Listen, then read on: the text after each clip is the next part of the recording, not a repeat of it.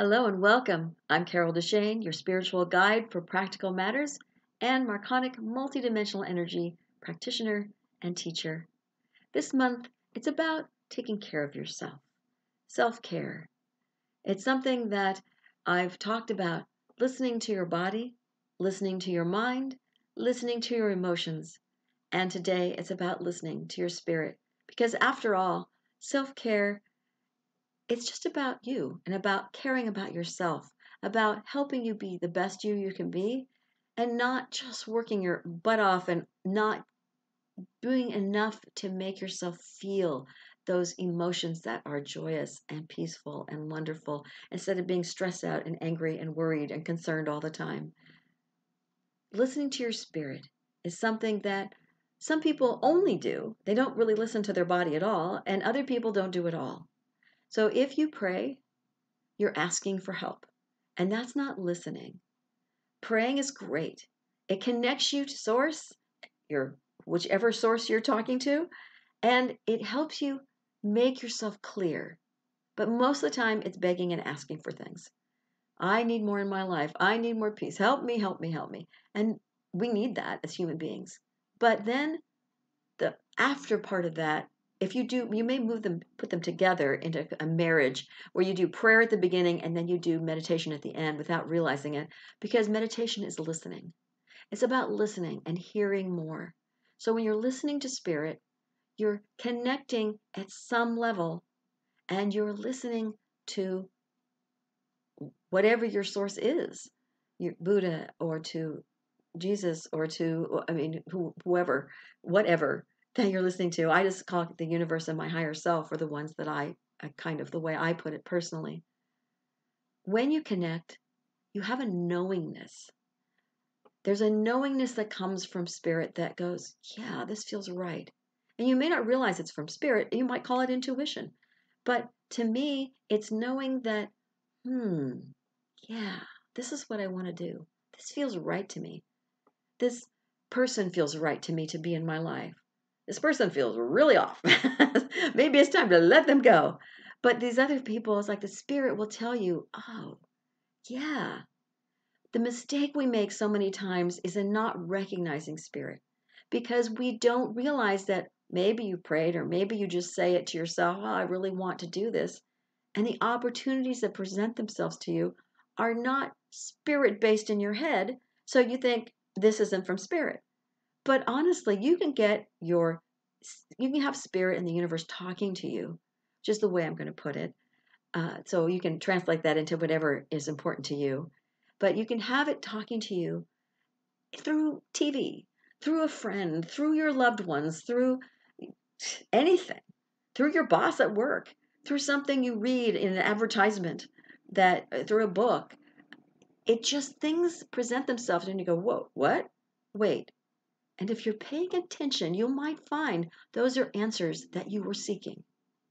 So if your spirit is out of alignment, you probably don't have a connection.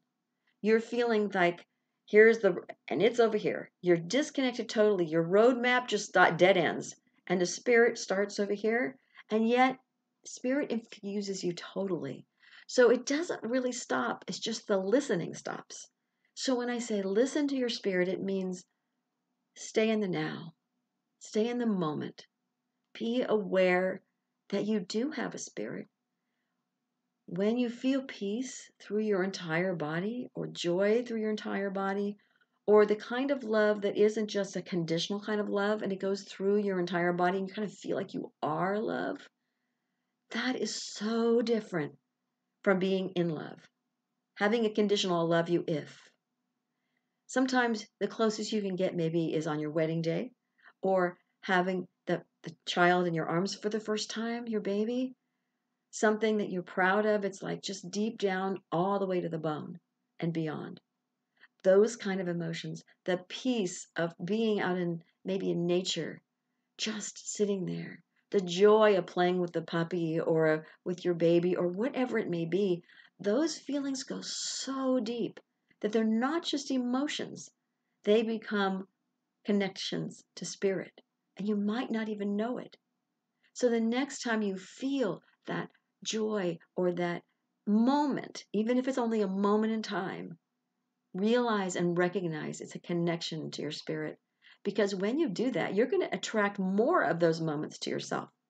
And it won't be, you won't feel connected to spirit when you're feeling depressed or angry, or you have basically feels like you've cut yourself off.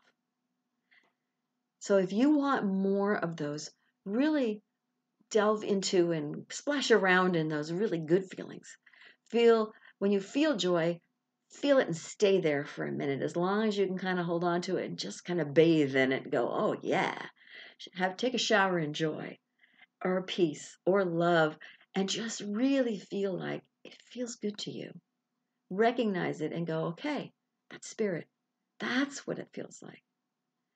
And when you do, you will attract more, like I said. And as you're listening to your spirit, you'll recognize the fact that if you're paying attention, it talks to you all the time. Your intuition, but if, through other people as well. Like I said, you might hear an answer to your prayer on TV. It might be an advertisement. It could be in a movie.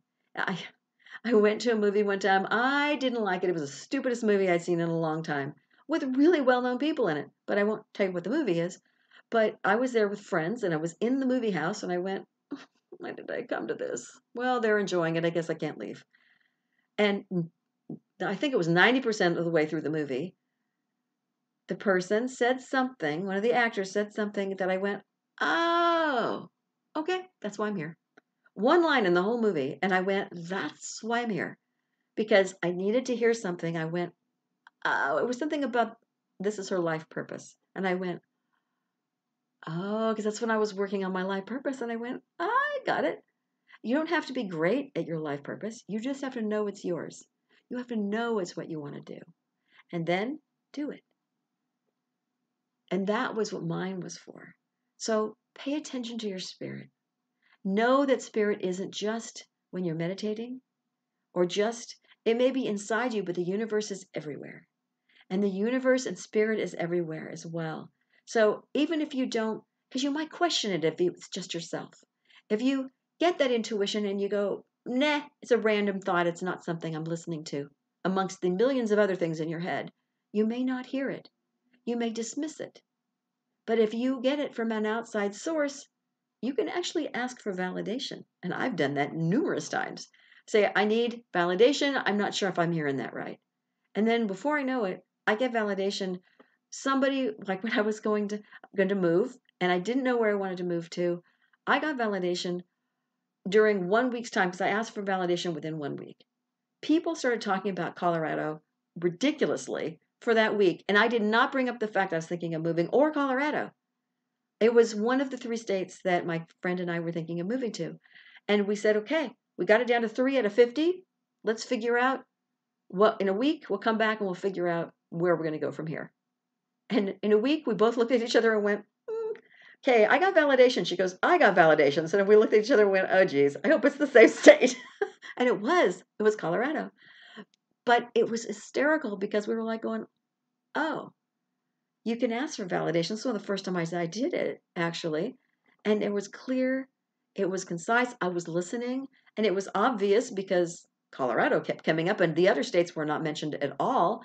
Nothing negative. They just weren't even mentioned. They weren't brought up. One person said, God, I loved when I moved to Colorado, it was so much fun. I loved being there. It was the best. And I said, Why did you come back? And I said, Oh, you know, I came back because of job or whatever it was. And I went, Huh, Colorado. Okay.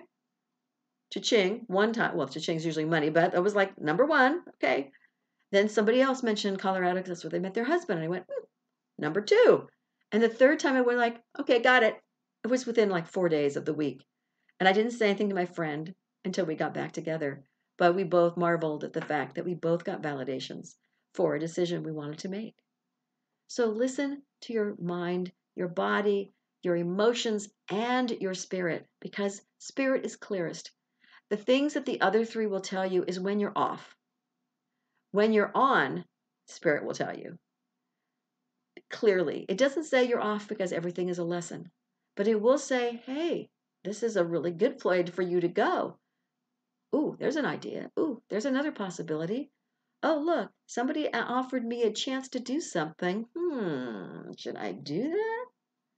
So when you're working with self care and you're really wanting take that time to care about yourself, you're worth caring about. You're deserving to have that priority, to make yourself a priority, whether it's a little extra money or time or whatever it is. You're worthy of it. You deserve it. You are a most wondrous being. Take the time. Realize that you are as well. Thank you for listening. Do take time for self care when you can, and maybe even when you don't think you can. If you like what you hear, please do subscribe to my YouTube channel and click the bell notification if you'd like to know the next time that a video is put out. I put them out on Monday, or I mean Sunday, sorry, as the Joy Corner, which are I am affirmations and also mantras for the week. And I have like 150 or 200 out there now, so you can go ahead and choose a different one if that week doesn't speak to you. They're on all sorts of different things. And also Wednesdays, I put out differing videos on different subjects but always spiritually related to practical matters. And if you'd like to know more about me or hear my podcast, you can go to my website to get more information, or and that will also be below the video. It's connect2joy.com. That's connect, the number two, joy.com. You'll find information on Marconics, multi-level or multidimensional energy work, as well as spiritual coaching for practical matters and energy space clearings. So if you'd like to hire me for motivational speaking or for intuitive work, that's also information you can email me about. Until next week, please be kind to yourself because transformation is not an end destination, it's just a journey. And we're all on it, whether you're on, on purpose or not.